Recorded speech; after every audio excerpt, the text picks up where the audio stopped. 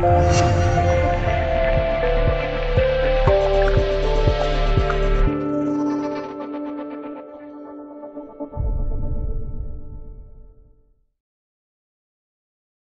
区的红旗，新华社记者扬州张建华周娜在老挝南部边境省份阿素坡省的萨南塞县县医院，一对身穿军装的中国医生在医院大楼前搭起棚子，棚子旁挂着的红旗引人注目，上面用中老双语写着“中国人民解放军赴老挝和平列车医疗队”，棚子上横幅写着“把优质的医疗服务带给老挝人民”。二十三日晚。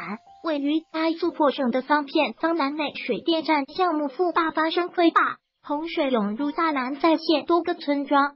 据老挝政府通报，本次事故共有十三个村庄进一三万人受洪水影响，部分村庄被淹，灾情惨重。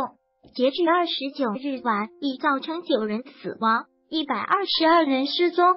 灾害发生后，正在老挝首都万象的中国人民解放军和平列车医疗队。紧急抽组医疗防疫分队，这支分队二十六日进入灾区萨南塞县，刚一到达就立即前往县医院了解情况，扎点开展工作。医疗防疫分队队员陈章告诉记者，这支三十二人组成的医疗防疫分队分成几个小分队，其中医疗小分队主要驻扎在萨南萨县县医院。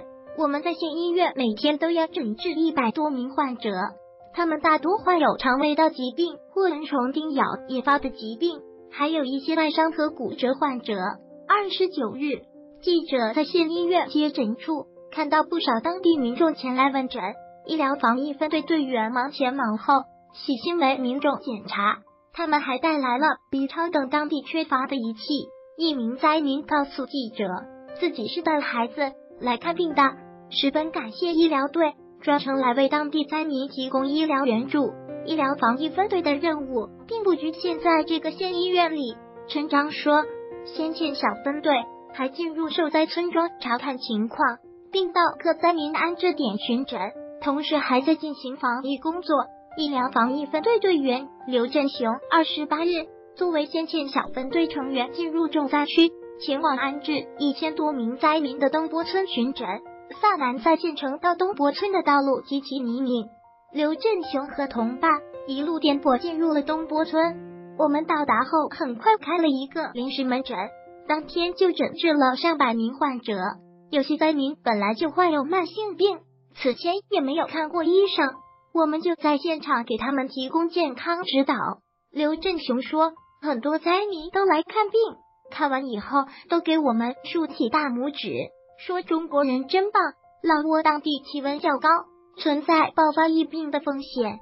除为当地民众治疗外，防疫也是这支医疗防疫分队的重要工作。二十九日，医疗防疫分队防疫组组长郭金鹏和队员们带着设备和老方卫生人员一同到县政府附近的居民区进行防疫作业。像这样的防疫喷洒，每天要进行两次。郭金鹏说。医疗防疫分队抵达灾区后，首先在灾民安置点指导建立传染病报告制度，一旦发现疑似病例，就迅速向上级报告，这样做有利于尽早隔离传染源。此外，医疗队还指导灾民做好垃圾分类处理，避免卫生隐患。医疗队员都表示，接到任务来救灾，他们身为军人，身为医生，就要不畏艰险的服务好灾民。